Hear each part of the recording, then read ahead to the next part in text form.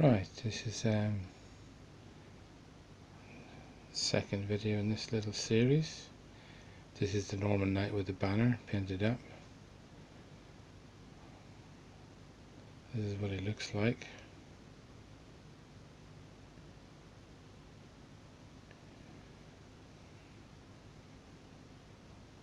It's quite big on this horse, but maybe that's the style of it.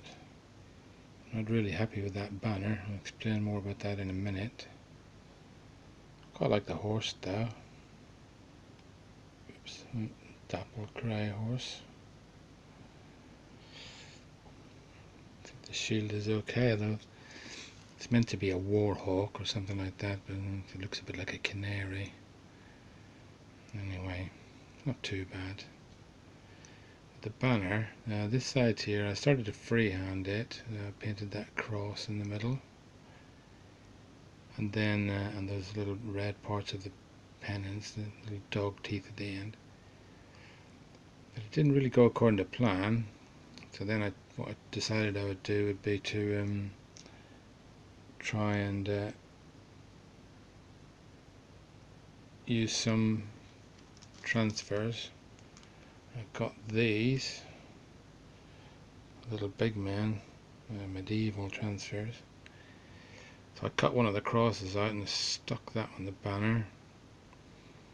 It uh, sort of worked. Um, it's not great, but at least it's, it's going to be, you know, fairly symmetrical and so on. That wasn't too bad. And then I decided to jazz the banner up a bit by um, putting some bands of colour on. Now I have shown you this one before. This uh, this other set of uh, transfers. This is the uh, Sassanid banners. I cut one of those out, and I um, it's over here. I just reach it. I cut it up, and you can see I fixed part of it there, and then there.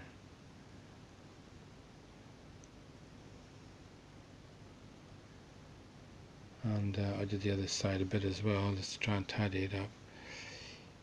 But honestly it's okay. It's okay from a distance. Um, I need more practice at painting banners. I, I thought I did okay with this shield. And so I'll give a go at the banner but it hasn't really worked out. I would need a bit more practice I've looked on YouTube and there's a few other videos on painted banners and so on there was a really good one from uh, War Games Strategy and Soldiers, I think it was. Uh, Chrissy, the, the lady who prints, painted those. She doesn't paint anymore. I don't know. Uh, don't know why she doesn't do anymore, but uh, she's a very good painter. But she painted a banner on a, um, paper. Obviously, that would have been good. Or, of course, I can just use these um, these little big man style ones and uh, perhaps more so these ones.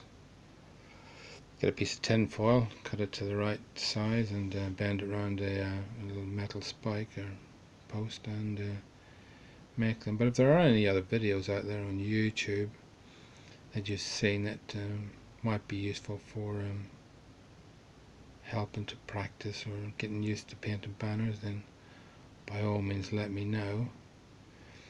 Anyway, what's my overall conclusions on this? This is another V&V miniatures figure. It's 28mm figure.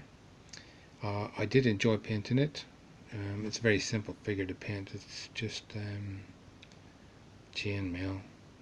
Obviously, you can go to town a bit on the horse. I was only doing the one figure, so I didn't have to um, worry too much about time or anything like that. Um, so I think the horse is quite nice. That's a, that's a front view of it. Because these figures are so light, because they're resin, um, I put a metal pen in his uh, leg and that one there the one that's uh, attached to the base and uh, I built up the base a bit with um, some diorama material, Vallejo diorama material um, so that the, there'd be plenty of room for the pen to go into the ground um, and fix the figure there.